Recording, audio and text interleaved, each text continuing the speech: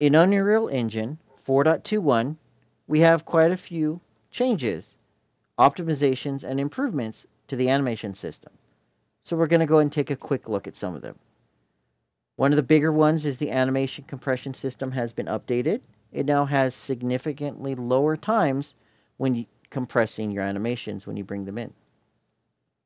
The Anim Notify system, which we can access right here, has been updated. You can see we now have child menus, as well as the ability to search and filter out the different types of notifies.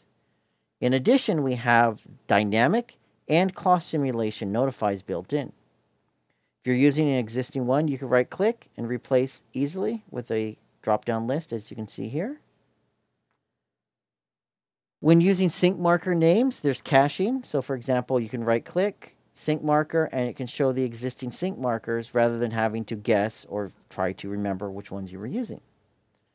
Frame rates for sequences are now shown in the top left corner. We can see here the sequence and its frame rate shown. CCDIK, CCDIK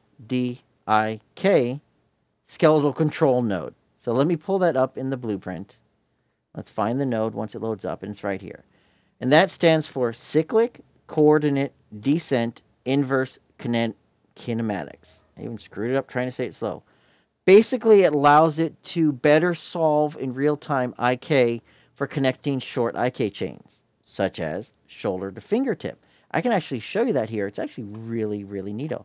So you'll see right here, my CCDIK is using its own internal settings for the effector, and that's represented by this transform widget. And I've got it set to go from the shoulder to the index finger. And if I adjust this, it's going to try its best to get to that point. You can see that working right here. It's a nice, easy node to set up. All the settings are in here, but basically, how do you want it effective?